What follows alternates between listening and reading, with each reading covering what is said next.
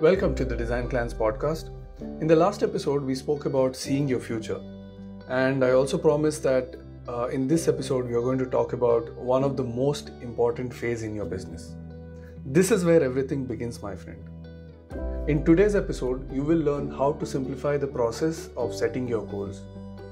I'm Santhosh, the founder of Design Clans, and the vision of Design Clan is to help people design their future by helping them create and grow their business on the internet.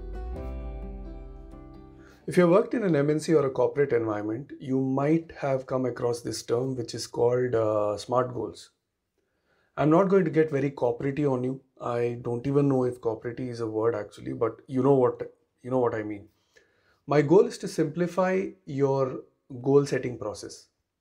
I will use the SMART goal strategy a little bit, but I will also help you set up your goals without complicating it too much.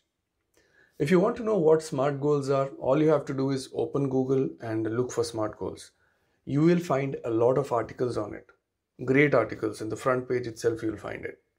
You can use this strategy to set up goals as well this is what most of the successful businesses across the world do. They follow this process in goal setting. However, here in Design Clans, I have simplified the entire process of goal setting in four easy steps. So make a note, it's critical for your success. Here is step number one understand what you really, really want. Okay, you're going to have two kinds of goals here. One is your long term goal this is what you always dreamt of all you always wanted in your life right make a note of that and when i say long term goals i'm not talking about you know 20 30 years from now. I'm talking about maybe 5 to 10 years within that. And then you have the short term goal. Short term goal is in the next 3 to 6 months. These are the goals you're going to achieve within uh, a short span of time. Don't worry about how you're going to achieve it all right? Just be clear about what your goal is going to be long term goal and your short term goal maybe write it down in a piece of paper and make sure you look at it every single day all right? When you do that something amazing is going to happen. Your brain is a problem solving machine and it is one of the most powerful supercomputer in the world. When you're looking at your goals right every single day you're it's it's a problem in front of you right? You have to solve it. And when you're showing it to your brain or your mind every single day, it will start looking for solutions. You will start getting ideas when you're going through articles, when you're going through your regular day, there will be ideas which will pop up, pop into your mind. All you have to do is continue looking at your goals every single day and continue to build your business. Okay, don't lose focus there. What is going to happen is your brain will be constantly looking for solutions on how to achieve these goals.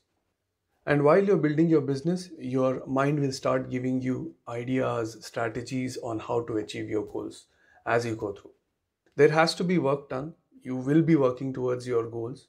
If you sit and do nothing and you not even look at your goals every single day, then nothing is going to happen. It's magical. Try it out and uh, see your mind in action. That was step number one. Step number two is tracking your progress. I use Google Sheets to track my progress. You can use whatever you want. You can use a notebook, you can use Google Sheet or any tool that you would like to use. But start tracking. What's going to happen is few months from now when you look back at your tracker, right, you will be amazed and proud looking at how much you have progressed. And progress is always good than doing nothing. And I believe you're not one of those entrepreneurs who wants to do a lot of things in life but does nothing about it, who only sits and dreams and strategizes and thinks about it but does not put any action in it. I know you're not that. Step number three keep your goals real. Be real and let it be relevant. You understand what I mean here, right? Your goals must be realistic. For example, six months from now, you're going to earn a thousand dollars, or maybe 1 lakh Indian rupees. This is doable, it is realistic if you put your heart and mind into it. But if you say, I am going to make more money than Jeff Bezos or Bill Gates, that is unreal. It's not possible in the next six months. So don't have unrealistic expectation. it is not good i have gone through that experience i have i had set unrealistic expectations in the past and whenever i have not achieved it it has demotivated me a lot make sure you don't set it okay? Because for whatever reason if you don't achieve it in the next 6 months right you're going to get demotivated. And you will probably get back to what you were doing. Or your regular life is going to take over and you're going to forget about building your business on the internet. Your business will anyway go downhill but it's also going to affect your personal life because you're never going to be happy. Your dream will always be there but you have now given up on your dreams. Don't let that happen to you. Lot of entrepreneurs across the world uh, you know set unrealistic expectation and they end up uh, failing. That is why lot of businesses fail across the world. Step number 4 goals are dreams with an end date. Make your goals time bound and commit to that date. This is your life and you are the captain of your soul only you can make things happen and you only have one life so give it your best shot and once you have set your goals, don't stop at anything till you achieve it. So make sure you write down your goal date. If you're saying six months from now, be specific. What date? Before which date are you going to achieve that goal? Write that down next to your goal. Same with your long term goal. And look at your goals and dates every single day. And every single day, your goals and date should remind you what you're supposed to do and work towards achieve it and things will happen. And these are the four steps. You can call this as one customized version of the smart goals but it's going to help you a lot. Trust me on that in the next episode you will learn about the next important phase which is discovering your superpowers i hope you got a lot of value out of this podcast if you have any comments, reach me through any of my social media channels.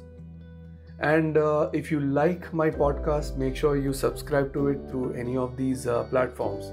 I'm available in iTunes, Spotify, Google Podcast, and a uh, few others as well.